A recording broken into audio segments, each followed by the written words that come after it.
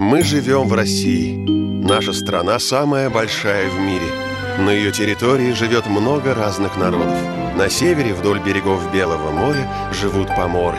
Столица Северного края – старинный город Архангельск, первый морской порт России.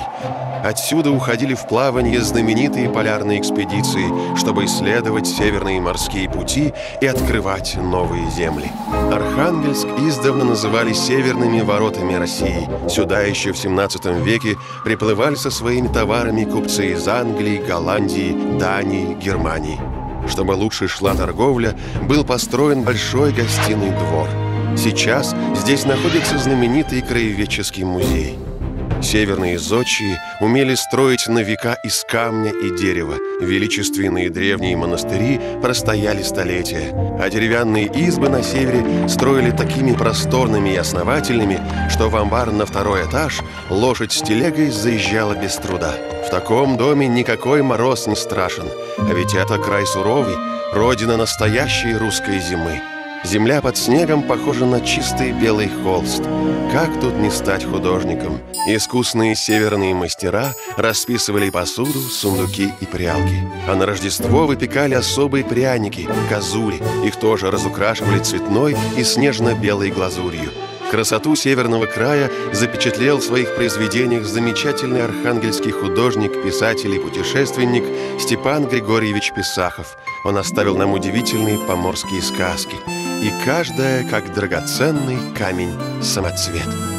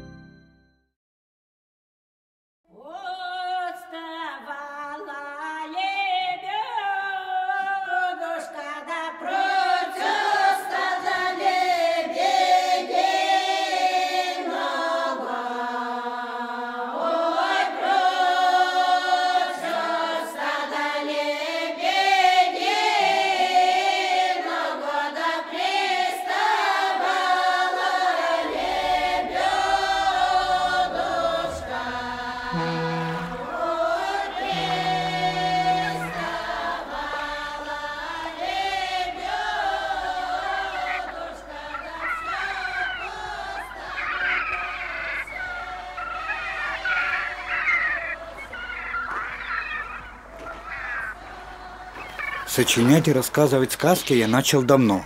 Записывал редко. Дед мой был сказочник, звали его Леонтий.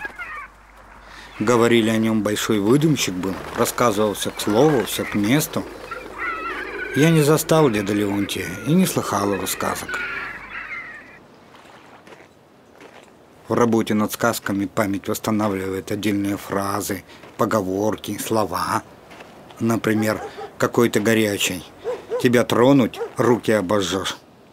Или как девица гостья из Пинники рассказывала о своем житье. Утрись маменька меня будет, а я сплю, тороплюсь.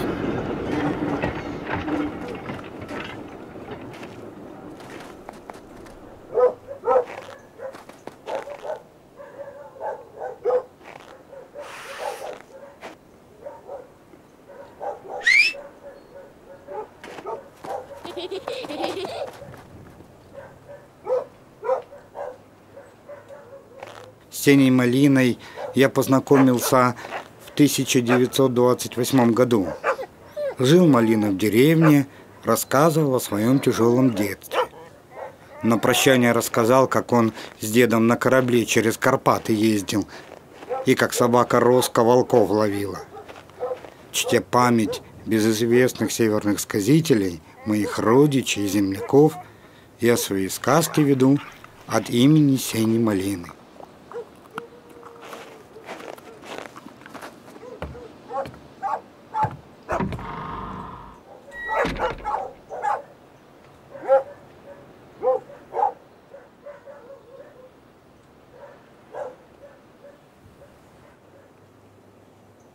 По мотивам сказок Степана Писахова.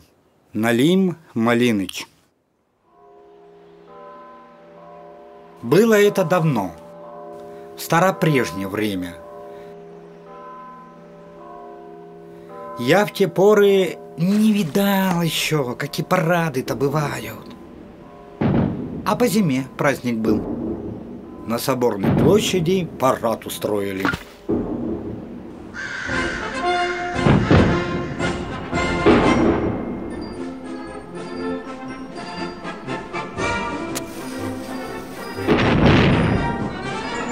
Солдатов нагнали, пушки привезли, народ сбежался, я пришел поглядеть.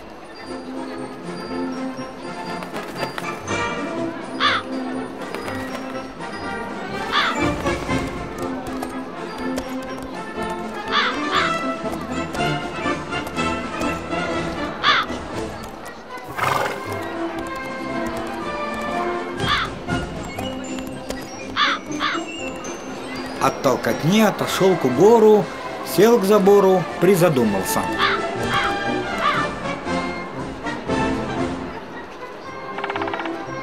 Вижу, пушки в мою сторону поворочены. Я сижу себе спокойно, знаю, что по холосту заряжены. Как из пушек грохнуло, меня как подхватило, выкинуло через забор, через угор. Покрутила меня на одном месте, развертела, да как, трахнула облет ногами. Ко дну иду и вижу, рыба всяко спит. Рыбы, видимо-невидимо. Чем глубже, тем рыба крупней. На самом дне я на матерушего налима наскочил. Спал налим крепкой спячкой. Разбудился, да из просонок к прорви.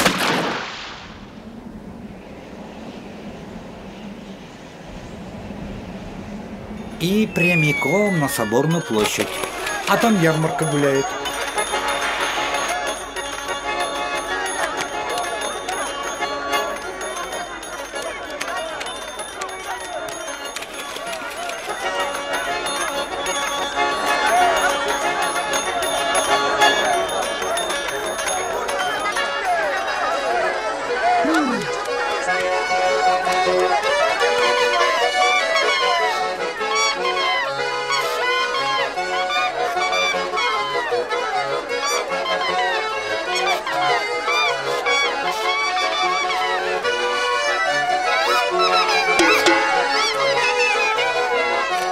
Услыхал Налим гармонь и в пляс пошел.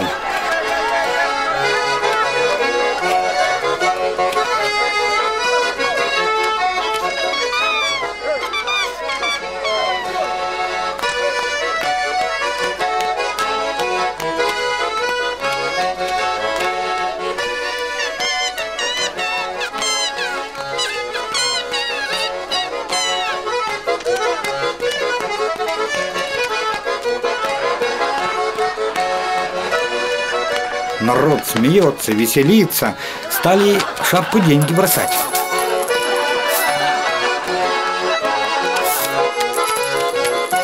Вдруг откуда ни возьмись, полицейский урядник. Увидал Налима и говорит. Ах, сколь подходящий для меня Налим на уху печенка на паштет. Неси рыбину за мной. Я говорю ему, ваше полицейство, не продается рыба, она мне за место собаки ученой и плясать, и служить умеет. Кто такой позволил всяким рыбам на соборной площади танцы устраивать? Делай, что тебе говорят. А не то я вас обоих в Сибирь отправлю. Ну, что тут скажешь? Пришлось идти.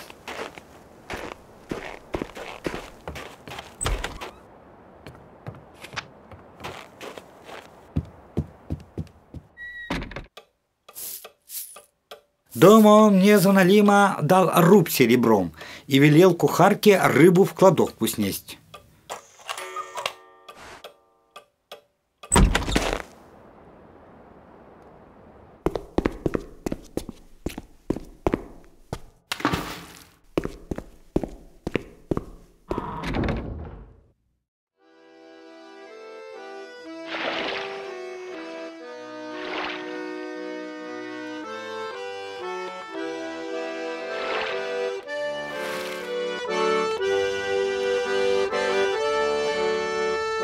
А Налим друг сердечный в окошко выскочнул, да и ко мне.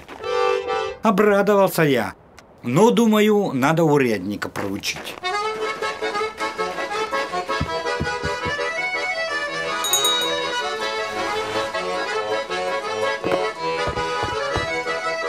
Увидал урядник Налима, обалдел. Кабы еще такую Налимину, в полный мой аппетит будет. Опять рубь дал, опять кухарка в кладовку вынесла. Налим тем же ходом в окошко, да и опять ко мне.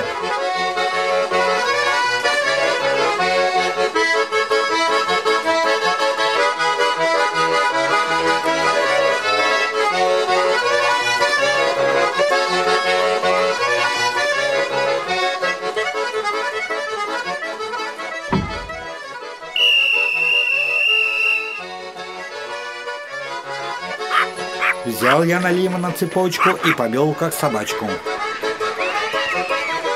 На трамвай не пустили. Кондукторша требовала бумагу с печатью, что Налим не рыба, а охотничья собака. Мы пешком до дому доставились. Дома в собачью конуру я поставил старую квашню с водой и Налима туда пустил.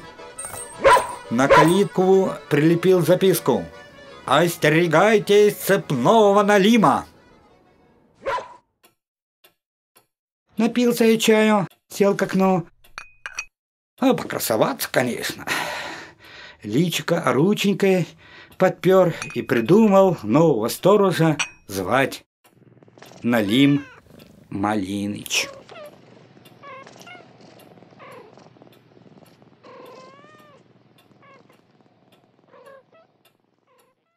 Уж как было два брата, два лазаря, а один был братец богатый человек, а другой братец убогий человек.